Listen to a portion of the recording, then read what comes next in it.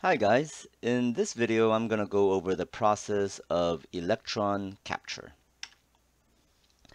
Basically, electron capture describes a situation where the nucleus of the atom has far too many protons. It's, it's not stable with that many protons there.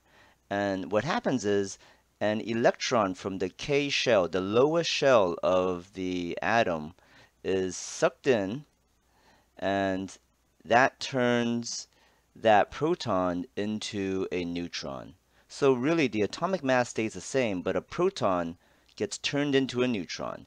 In the process where the electron and the neutron, when they come together, making a, a neutron, a neutrino is also shot out, and some X-rays are often emitted.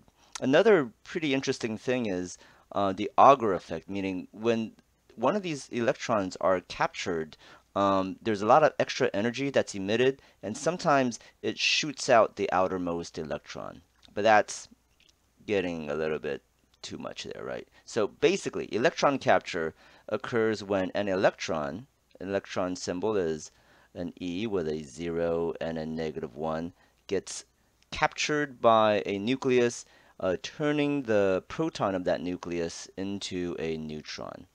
Uh, let me show you with some mathy problems.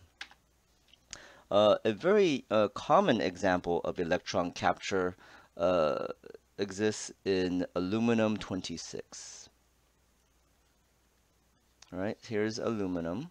Aluminum is right here, so it has an atomic number of 13, and it's going to capture an electron. So here is my electron. It's got a zero on top, a minus one on the bottom. So um, the results are pretty easy. See, uh, 26 plus 0 is 26. 13 and negative 1 is 12. As you can see, the atomic number is reduced by 1. That's the point of electron capture. There are too many protons in there. Uh, you got to turn that sucker into a neutron.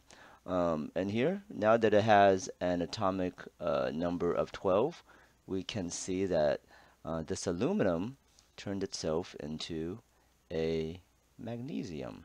So the parent nuclide uh, becomes a magnesium. Here, the parent nuclide is aluminum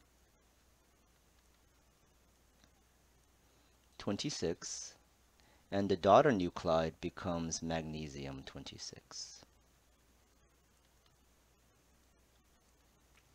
Pretty simple. Let's do one more sample. Another very uh, common example of electron capture uh, occurs in uh, beryllium 7. Here, uh, as you can see, the atomic number is 4. It's going to capture an electron, 0 and negative 1 on the bottom.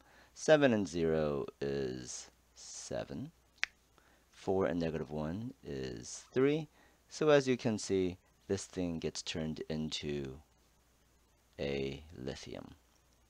I hope that clarifies things, and thanks for watching.